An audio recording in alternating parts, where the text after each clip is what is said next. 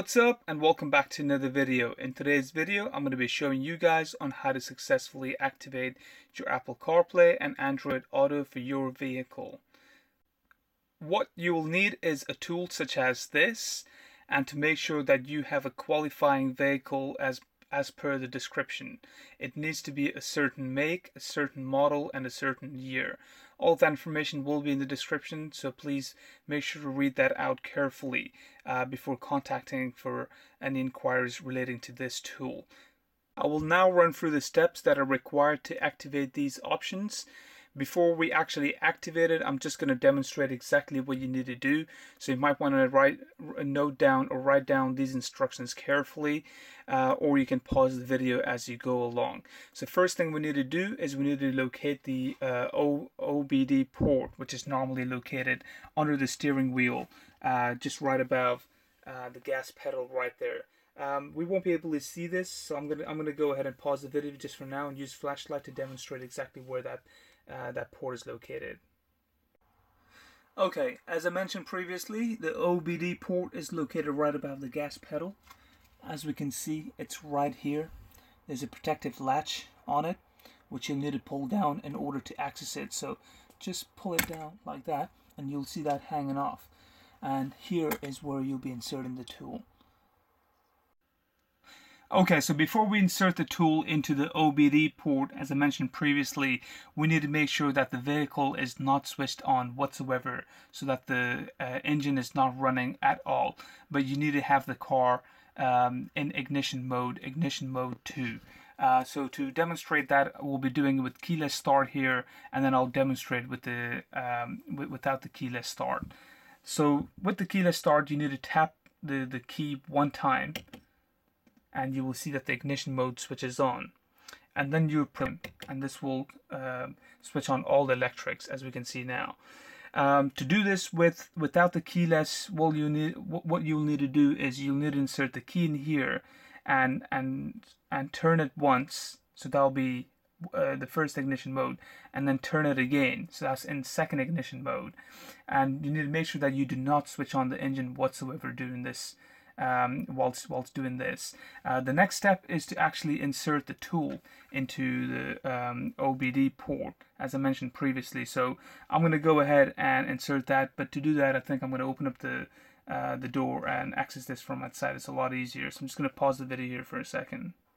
Okay, so I'm going to go ahead and insert the tool um, into um, OBD port as I previously demonstrated. Just need to figure out how this goes in.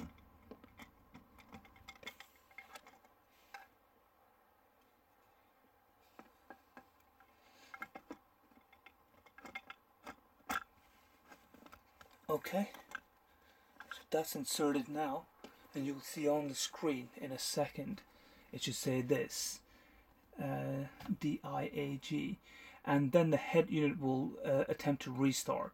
So as we can see now, it's restarted uh, let it restart. Once it's back up what we can do is remove the tool from uh, the o OBD port.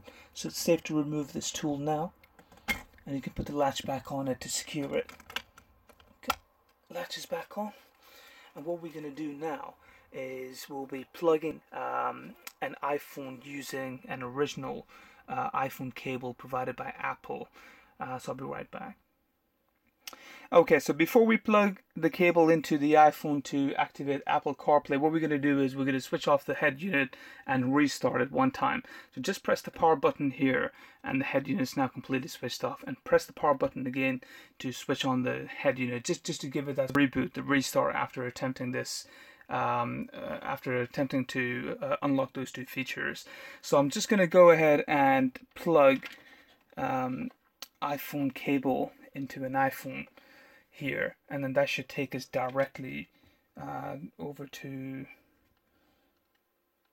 Apple CarPlay. Let's see if we can find that.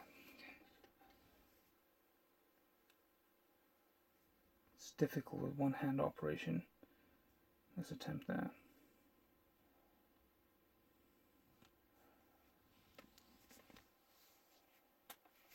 Okay. We should now see on the screen um, that it should it should pick up Apple CarPlay uh, automatically. But I think you will need to unlock the device first if, if your device is locked. So I'm just going to go ahead and unlock the device.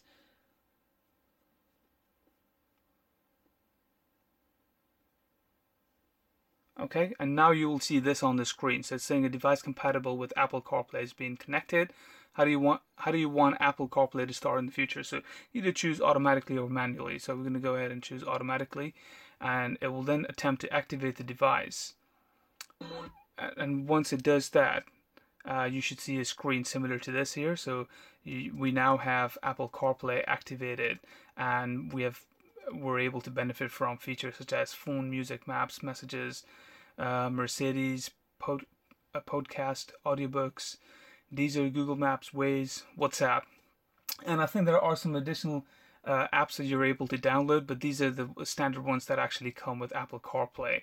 Um, so there you go. So I mean, it's as simple as uh, using that tool, uh, allowing 10, uh, 10 seconds, and you need to make sure that the ignition is an ignition um, ignition point two, and then you need to restart the head unit one time um, and then just simply plug in your iPhone uh, using an authentic uh, USB cable provided by Apple. This has also activated um, uh, Android Auto. So if you have an Android device, you'll be able to use that as well. But we need to click on uh, Tell to back out from here.